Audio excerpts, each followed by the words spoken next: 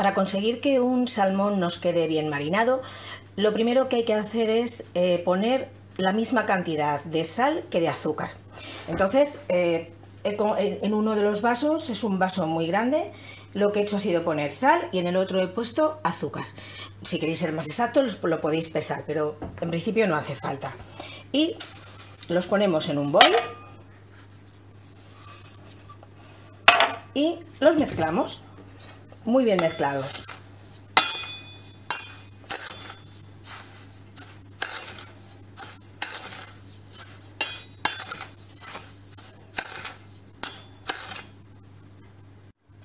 Vamos a distribuir una capa generosa de, la mezcla de sal y de azúcar por toda la base de un molde, en este caso he utilizado un molde, eh, un, molde un recipiente grande de porcelana que em, también se puede utilizar de cristal. Yo para estas cosas no os aconsejo el plástico y desde luego nunca acero inoxidable ni aluminios. Eh, en un molde de cerámica, de porcelana, de cristal es eh, ideal para, para ponerlo. Entonces vamos a cubrir con una capa generosa de la mezcla que hemos puesto.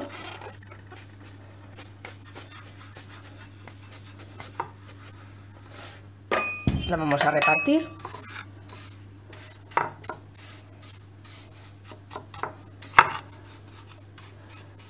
Que no se vea el fondo del recipiente. Y encima vamos a colocar los lomos del pescado va a ser indiferente que los pongamos boca abajo, boca arriba, con la piel para abajo, con la piel para arriba, porque eh, lo que vamos a hacer pasadas 24 horas es darles la vuelta. O sea que esto nos va, a dar, nos va a dar exactamente lo mismo. El salmón, como habéis visto, es una cola hermosa. El salmón pues pesaba prácticamente 4 kilos, entonces es la mitad del salmón, la parte de la cola y eh, me la han quitado las espinas centrales y ha limpiado todo lo más posible de espinas, pero para marinar es conveniente dejar la piel del salmón. Entonces, hemos, eh, a ver si veis, veis que se ve perfectamente toda la base de azúcar mezclada con sal y entonces ahora lo que vamos a hacer es cubrir nuestro salmón por encima de nuevo con la mezcla de azúcar. Ahora os lo vuelvo a enseñar. Ahí lo tenemos muy bien cubierto. Tampoco sería necesario tanto, pero esto no va a aportar mayor sal o mayor dulzor al, pescado, puesto que la proporción siempre es la misma entre sal y azúcar.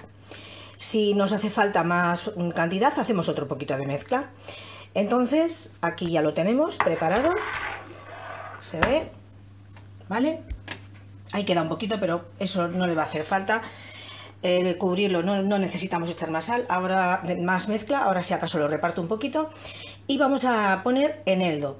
El eneldo solo lo pongo por arriba porque al darle la mm, vuelta se va a volver a rebozar en eneldo y además eh, luego tenemos que lavarlo todo con agua fría una vez que se termine la preparación, entonces volveremos a colocar eneldo después, posteriormente. Vale, ponemos eneldo.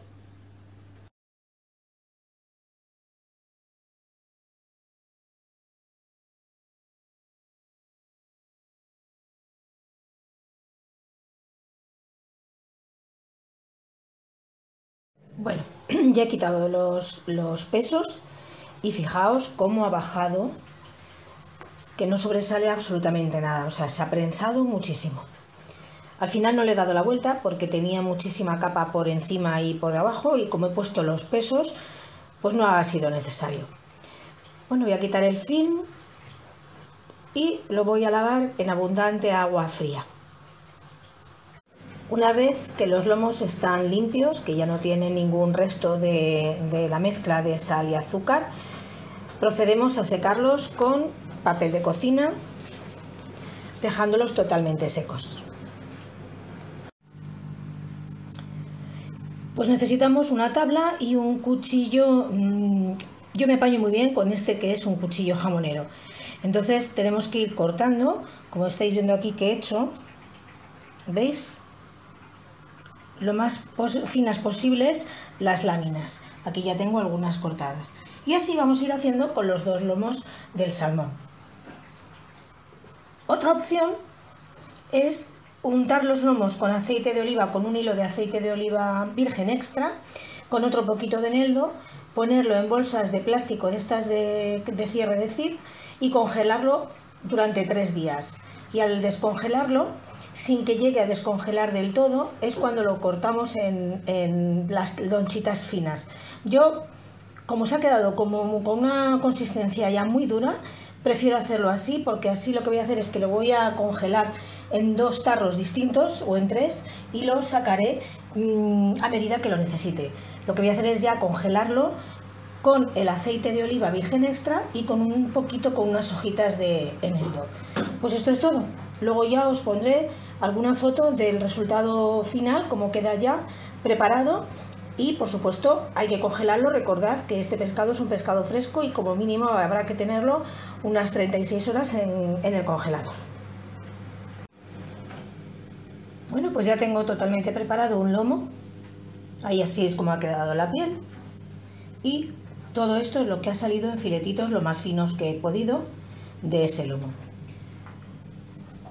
Queda el otro.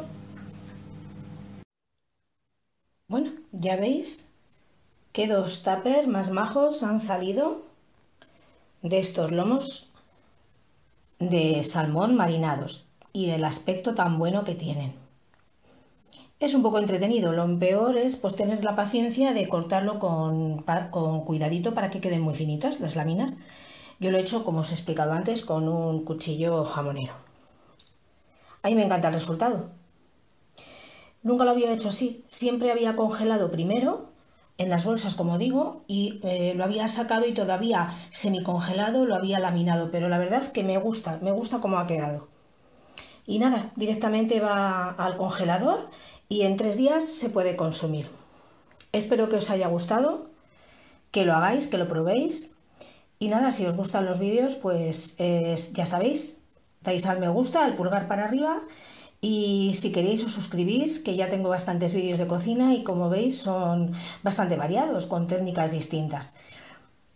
Los vídeos no tienen mucha calidad porque en esto tengo que mejorar. que os recuerdo que tengo un blog, buenosratoslola.com.es bueno, buenosratoslola.blogspot.com.es y el grupo de Facebook Cocinar con ollas GM, Free, etcétera que mm, un beso muy gordo y que lo probéis, que está muy bueno.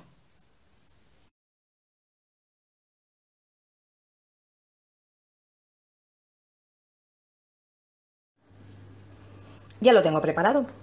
Me diréis que qué raro que haya puesto el eneldo encima de la sal con azúcar. Muy sencillo. En casa, a la mitad de la familia nos gusta muchísimo el aroma y el toque del eneldo y a la otra mitad no.